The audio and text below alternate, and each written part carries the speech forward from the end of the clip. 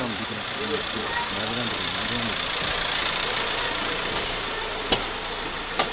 Edirne'de akıllara durgunluk veren bir olay yaşandı. Alınan bilgiye göre 6 haftalık hamile olan ve ikiz bebek bekleyen GO isimli kadın Kaleiçi semtindeki evinde kendisini karın bölgesinden bıçakladı.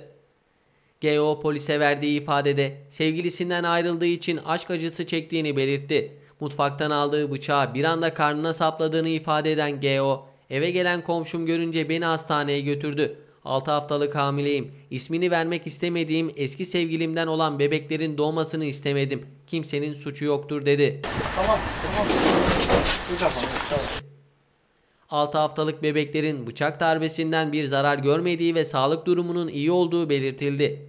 3 gün hastanede kaldıktan sonra tedavisi tamamlanan kadın taburcu oldu. Bebeklerini öldürmeye çalışan kadın daha sonra polis tarafından Selimiye Polis Karakolu'na götürüldü. İfadesi alınan GO adliyeye sevk edildi. Şüpheli savcılıktaki ifadesinin ardından serbest bırakıldı. Olayla ilgili soruşturma sürüyor.